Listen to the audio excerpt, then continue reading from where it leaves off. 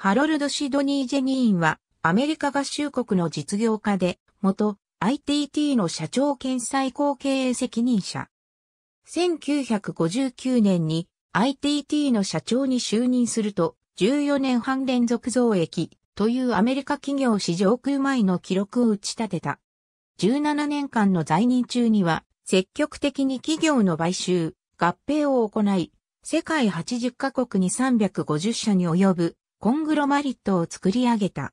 1910年イギリスボーンマスに生まれ、1歳の頃に両親と一緒にアメリカに移住した。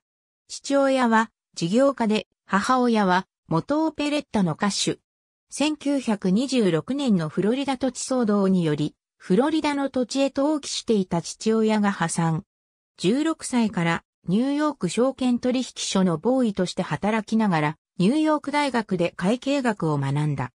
証券取引所のボーイの後は、図書の訪問販売、新聞広告の営業、会計事務所などを経て、アメリカンキャン社、ベルハウエル社で会計責任者として務めた。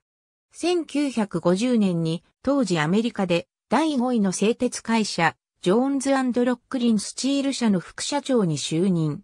1956年にレーセオン社の副社長に就任。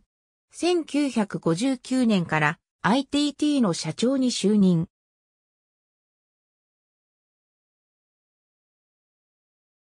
シェラトンホテル、ハートフォード保険会社、エービスレンタカーをはじめとする多くの企業を買収、合併、吸収した。彼の就任期間中、収益は7億6千万ドルから170億ドルになった。1972年に社長を辞任し、会長になった。1977年に会長を辞任し、その後は自らの会社をいくつか経営した。1997年11月21日、心臓発作で死去。87歳。ありがとうございます。